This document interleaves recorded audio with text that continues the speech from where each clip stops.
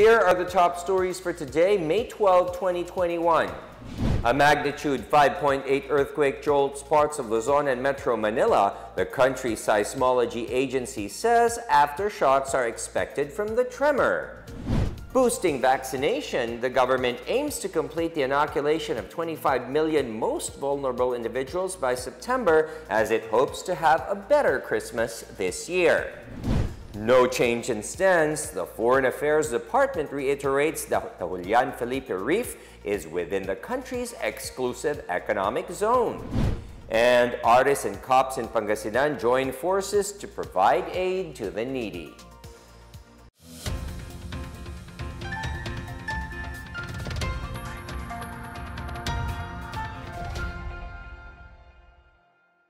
Good day, I'm William Theo. Welcome to the PNA Newsroom.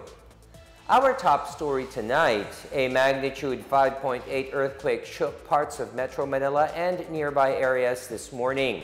The Philippine Institute of Volcanology and Seismology, or PHIVOLCS, said the tremor's epicenter was traced 11 kilometers northeast of Abra de Ilog in Occidental Mindoro. It had a depth of 110 kilometers. Intensity 5 was recorded in Calatagan, Batangas, while Intensity 4 was recorded in Puerto Galera in Oriental Mindoro. The earthquake was also felt at Intensity 3 in Muntinlupa City, parts of Cavite, San Jose Occidental Mindoro, and Calapan City in Oriental Mindoro. It also jolted parts of Central Luzon, Quezon Province, and some cities in Metro Manila. PHIVOLCS said aftershocks from the earthquake are possible, but damage is not expected. Filipinos may be celebrating a better Christmas this year as the country welcomes the arrival of more government-procured COVID-19 vaccines. The country has now four brands of COVID-19 vaccines in its inventory after the first batch of 193,050 doses of Pfizer-BioNTech COVID-19 vaccines arrived Monday night. Other brands include CoronaVac from China's Sinovac Biotech, AstraZeneca from a British-Swedish manufacturing company, Sputnik V from Russia's Gamaleya Research Institute, and Pfizer from the United States. Presidential spokesperson Harry Roque said the government expects to have a total of 11,364,000 doses of different COVID-19 vaccine brands in its inventory within the month. With the arrival of more COVID-19 vaccines, Roque expressed hope that Filipinos would be able to spend this year's Christmas with their families and friends. Sa awan ng Diyos at ang patuloy na pagpapatupad ng ating COVID-19 plan, harinawa ay magiging masaya ang ating Pasko kung saan makakasama natin ang ating pamilya at mahal sa buhay. The government is targeting to complete the inoculation of up to 25 million most vulnerable individuals by September. These are the healthcare workers, senior citizens, and persons with comorbidities. Vaccine Czar Secretary Carlito Galvez Jr. said they are already doing the strategy to finish the inoculation for these groups, followed by 58 to 70 million Filipinos by November, and eventually reach 110 million Filipinos, including children, by the second quarter of 2022. Galvez said the A4 or other frontliners in essential sectors and A5 or those in the indigent priority list will be vaccinated starting June. The government has so far deployed 4,009,880 doses of COVID-19 jabs to 3,410 active hubs nationwide. A total of 2,409,235 have been vaccinated, of which 1,881,834 are health workers, 436,100 senior citizens and 331,150 persons with comorbidities.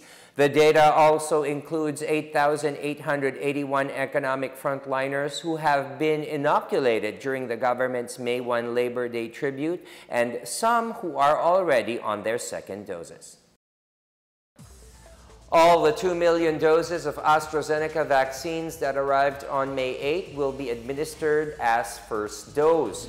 The Health Department earlier resumed the use of AstraZeneca vaccine for all age groups after the Food and Drug Administration or FDA concluded that the jab has no known risk factors and that the benefits of receiving the vaccine still outweigh its risks.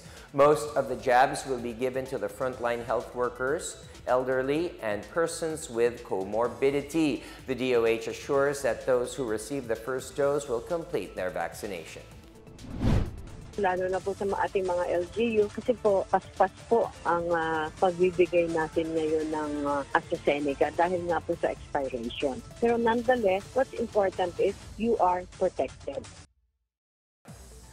The Department of Health denied allegations that it had purchased 1 billion pesos worth of remdesivir. This after Buhay Party List Representative Lito Atienza earlier questioned the agency's request for budget to import the antiviral drug. In a statement, the DOH said that to be able to procure these investigational drugs, a certificate of product registration or an emergency use authorization or EUA is needed. As such, the procurement could not proceed as none of the investigational drugs have been granted these requisite regulatory approvals during the time of procurement. It also maintains that the continued use of remdesivir for COVID-19 patients is fully supported by a consensus panel of 19 medical societies as reflected in the Philippine COVID-19 Living Recommendations.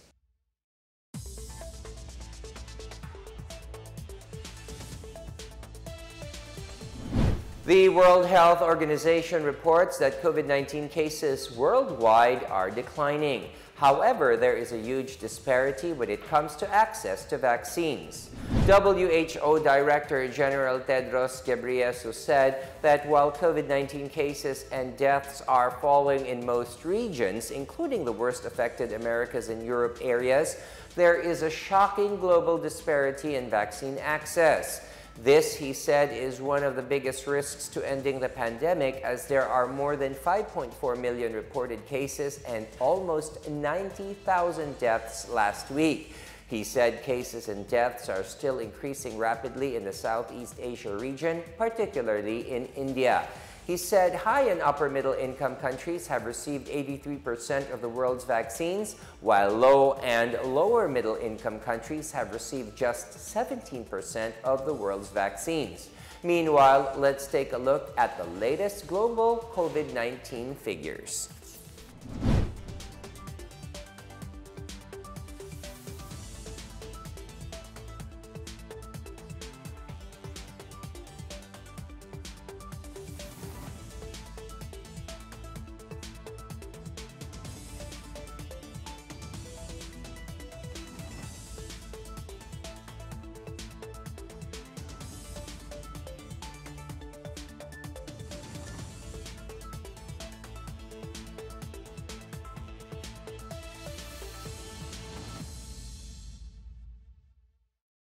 Still to come, over 127,000 AstraZeneca shots arrive in Iloilo.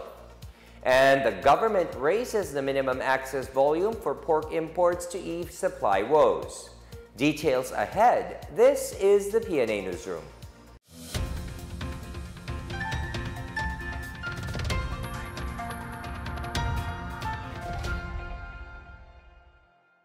Tandaan ang tamang paraan ng paghuhugas at paglilinis ng kamay upang makaiwas sa iba't ibang karamdaman. Basain ng tubig ang mga kamay at sabunin. Unang sabunin ang mga palad at ang likod ng mga kamay. Kuskusin na maigi ang pagitan ng mga daliri at maging ang mga kuko. Isunod ang pagitan ng mga hinlalaki at kuskusin ng paikot ang mga dulo ng mga daliri sa magkabilang palad.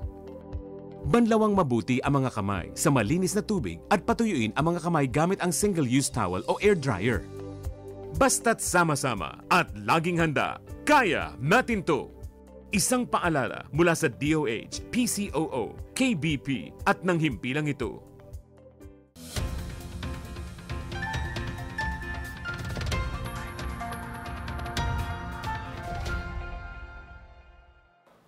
Authorities have found out the resort in Caloocan that was shut down for operating while Metro Manila is still under modified enhanced community quarantine was not accredited for tourism.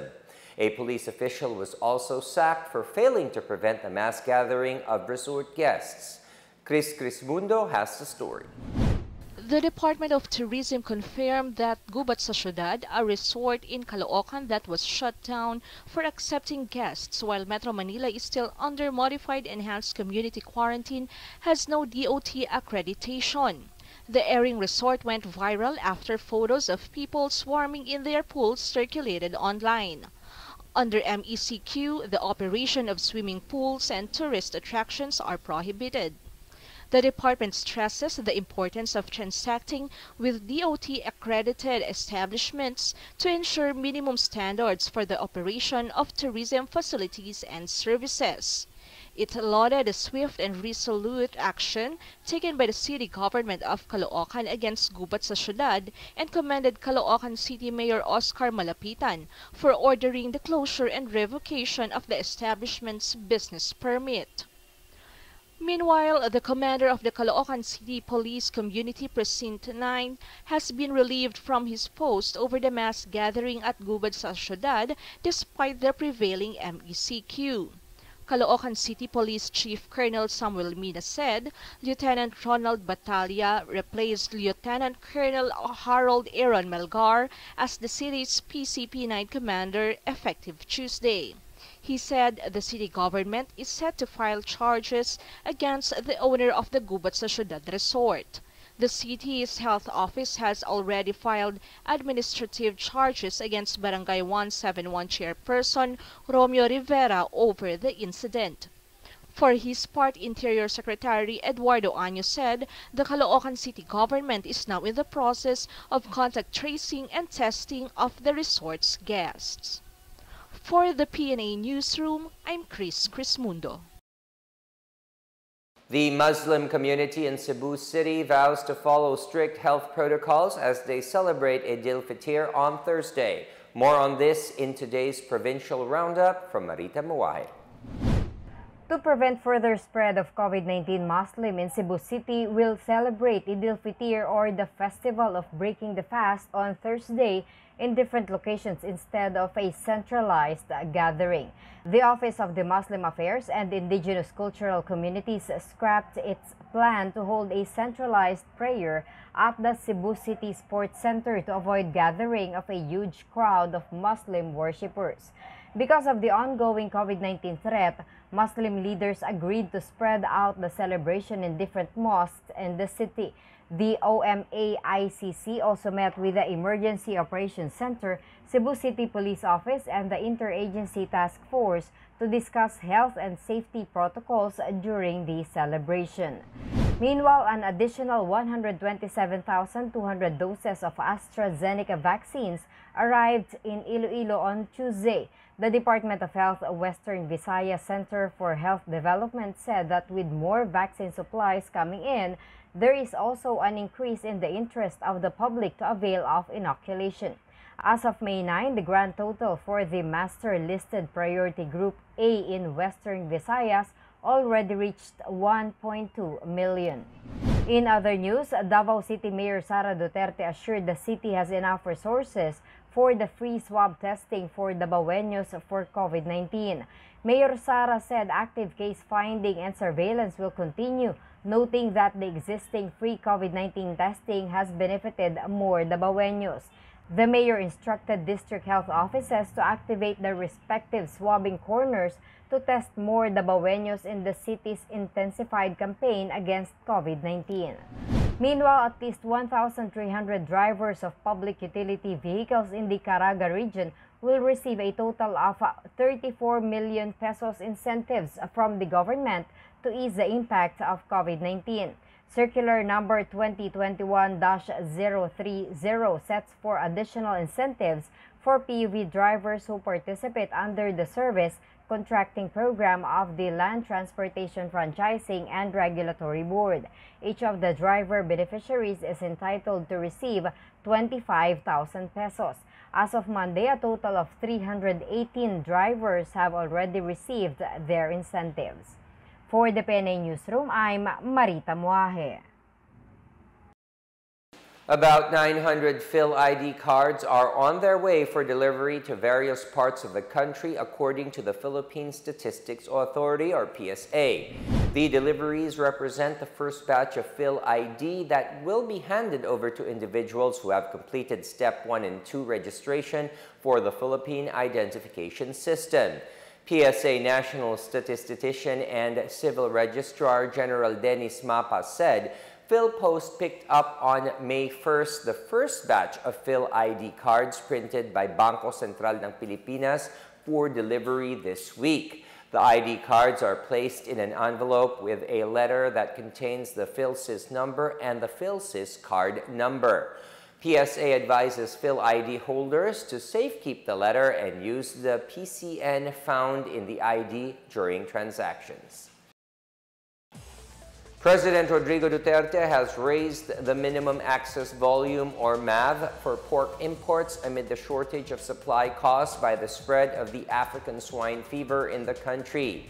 Executive Order number 133 raises the MAV of pork meat for 2021 of 54,210 metric tons by an additional 200,000 metric tons.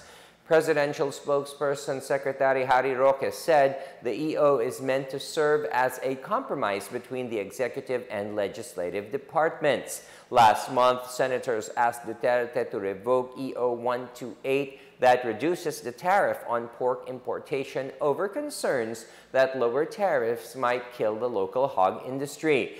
Duterte said he is willing to withdraw his executive order as soon as there is an improvement in the country's domestic supply.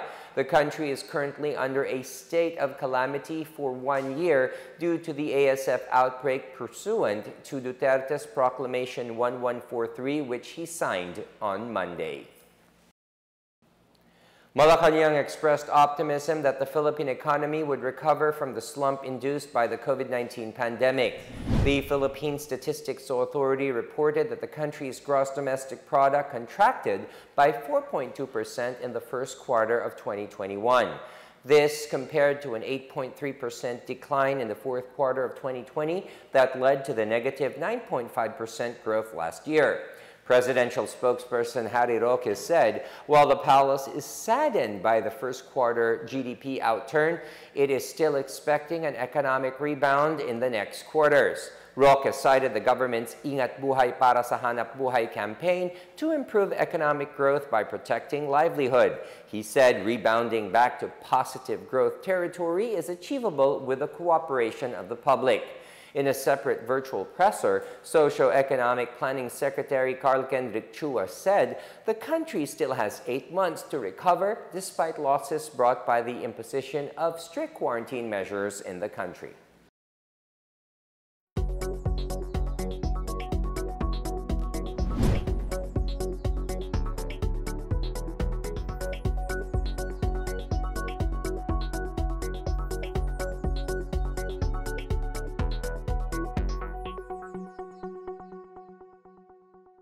Up next, the DFA stands firm on its position that the Julian Felipe Reef is part of the country's territory.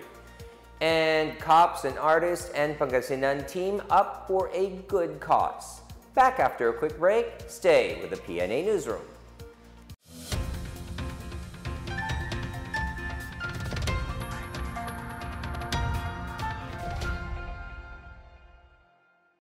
Alamin ang tamang paraan ng pag-ubo upang mapigilan ang paglaganap ng Coronavirus Disease 2019. Ugaliing magdala ng panyo o tissue.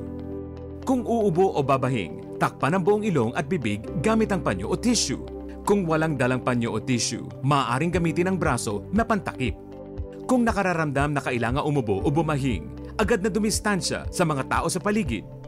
Huwag dumura kung saan-saan, gumamit ng tissue at itapon sa basurahan. Ugaliin ang paghuhugas ng kamay at paggamit ng alcohol o hand sanitizer upang mamatay ang mikrobyo. Basta't sama-sama at laging handa, kaya natin to! Isang paalala mula sa DOH, PCOO, KBP at ng himpilang ito.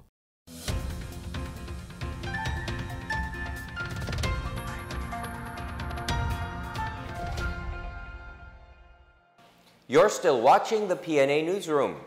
The Department of Foreign Affairs or DFA said its position on the Julian Felipe Reef issue remains unchanged as it maintains that the reef is within the Philippine exclusive economic zone. Last month, the government informed Chinese ambassador to Manila Huang Xilian that the Julian Felipe Reef lies within the EEZ of the Philippines and that the continuing presence of Chinese vessels in the area is a source of regional tension. In a separate tweet, Foreign Affairs Secretary Teodoro Locsin Jr. said, when it comes to foreign affairs, the DFA always has the last word. Meanwhile, presidential spokesperson Harry Roque said the Philippine government has never abandoned the country's claim over the Julian Felipe Reef. Roque belied a news report claiming to quote him that the Philippines does not own Julian Felipe Reef. Earlier, Locsin questioned the reason behind the pulling out of the Philippine ship in Scarborough Shoal during a standoff with China in 2012. He said the Philippine side withdrew even if it was the Chinese ships that were intruding in the country's exclusive economic zone. He added that the Chinese side had no intention of attacking based on his previous conversation with Chinese Foreign Minister and State Councilor Wang Yi. When the Philippines pulled out its ship, Locsin said Washington had no obligation to go to war because the Mutual Defense Treaty can only be triggered with an attack against a Filipino public vessel. Malacanang sees no conflict of interest in the designation of Presidential Communications Operations Office Undersecretary Joel Sy Egco as one of the eight spokespersons of the government's anti-insurgency body. Egco, who is also executive director of the Presidential Task Force on Media Security, is the spokesperson for mass media engagements and fact checker of the National Task Force to End Local Communist Armed Conflict, or NTF-ELCAC. Some sectors expressed concern over Egco's new role amid the task force's reputation for alleged red tagging of journalists. But presidential spokesperson Harry Roque said Egco's other roles require him to ensure the safety of all media workers. Roque said based on a study by the Center for Media Freedom and Responsibility, most media killings can be traced to local politics and not red tagging. He said that legal remedies are available for journalists that have been red tagged. He also said NTF ELCAC needed eight spokespersons because they could not speak for the task force on a full-time basis. The Armed Forces of the Philippines is set to deploy military personnel under detailed service to the Philippine Sports Commission in preparation for the Tokyo Olympics and the 31st Southeast Asian Games.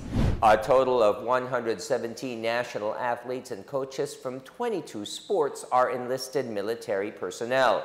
58 of them are under the Philippine Air Force, 19 from the Army, and 40 are serving the Navy. PSC Chairman William Ramirez highlighted the importance of enlisted national team members complying with the agreement between the PSC, the AFP, Philippine Olympic Committee, and the Philippine Paralympic Committee. He emphasized that the PSC takes responsibility for their detailed service. The PSC, POC, PPC and the AFP will have a formal signing of the Memorandum of Agreement covering the management, development, and training of soldier athletes on May 20.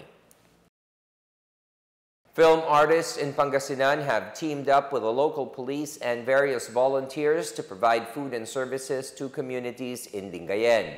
The Home Court Artistry Production or HCA, a local film production team, launched Bayanihan sa Barangay through a series of charity events to help provide the basic needs of the community in the spirit of Bayanihan. The project was inspired by the Barangayanihan of the Pangasinan Police Provincial Office. Aside from a community pantry, the project provides a feeding station, free blood pressure check, and eyeglasses for the senior citizens, among others. They also have a Sugod Bahay Bayanihan for persons with disabilities, where they bring the relief packs to their houses. The HCA plans to replicate the project in San Fabian Town.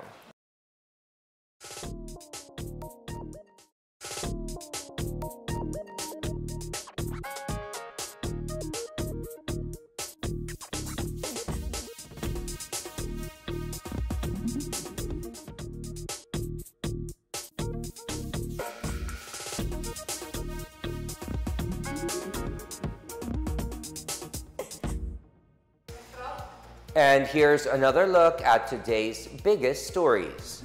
A magnitude 5.8 earthquake jolts parts of Luzon and Metro Manila, the country's seismology agency says aftershocks are expected from the tremor. Boosting vaccination, the government aims to complete the inoculation of 25 million most vulnerable individuals by September as it hopes to have a better Christmas this year. No change in stance. The Foreign Affairs Department reiterates that the Julian Felipe Reef is within the country's exclusive economic zone. And artists and cops in Pangasinan join forces to provide aid to the needy. Thank you for watching another episode of the PNA Newsroom. To check more news content, visit our webpage or head on to the Philippine News Agency's Facebook and Twitter accounts. For more stories about the government and how it serves Filipinos, look for these hashtags in all of our social media platforms and websites. We are shown on the pages of the PCOO and its attached agencies. Also, watch us on television on PTV4 and IBC 13. And that's your daily dose of the biggest stories that you need to know from the PNA Newsroom. We tell stories that inspire change. I am William Theo. Good day. Stay safe, everyone.